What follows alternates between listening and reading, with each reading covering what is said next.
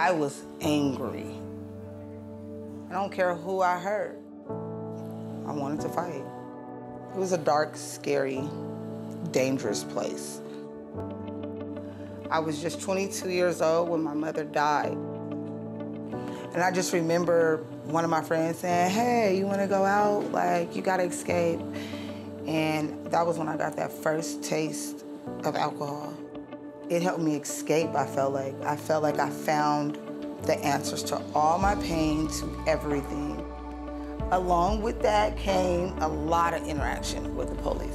Domestic violence was the ultimate reason why my kids were removed from the home. It was just a lot of hurt during that time. A lot of rehabs were like, no. They kept turning me away, turning me away, turning me away.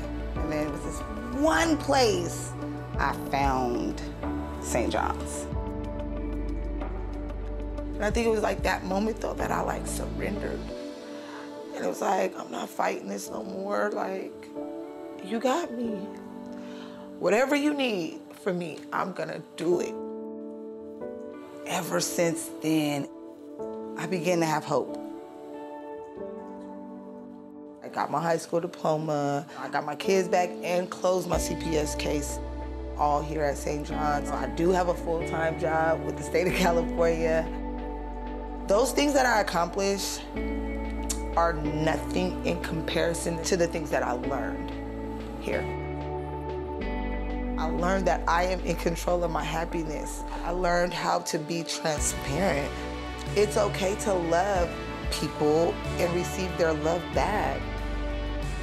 Where I'm headed now is just like blessing on blessing on blessing. I just want to say thank you for just loving me. Loving me when I couldn't love myself, supporting me and believing in me. I'm forever grateful to St. John's.